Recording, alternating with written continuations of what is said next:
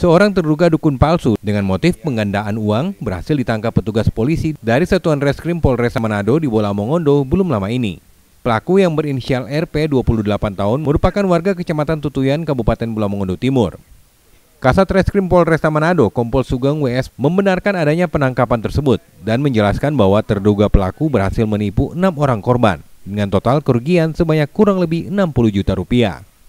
Dikatakan Sugeng, selain menggandakan uang, korban juga diberikan batangan emas palsu. Karena pelaku mengiming-imingi korban akan menggandakan uang yang diberikan kepada pelaku kepada, kepada tersangka. Ya diiming-imingi dengan sejumlah uang nanti akan digandakan. Kemudian selain diberikan dengan digandakan dengan uang juga diberikan batangan emas yang akan nanti e, bisa dimiliki oleh korban sudah ada enam korban yang melapor, tapi baru satu yang dibuat laporan polisi dan langsung kita tidak lanjuti. Untuk kerugian sekarang masih kita kumpulkan uh, sekitar 60 juta. Untuk pelaku ini kita baru tangkap kemarin dan sudah dilakukan pemeriksaan proses penyidikan. Pelaku akan disangkakan dengan pasal 378 KUHP yaitu pasal penipuan dengan ancaman hukuman maksimal 4 tahun penjara.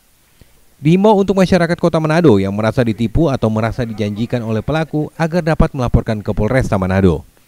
Edward Siwi, Jiminapar Kompas TV Manado, Sulawesi Utara.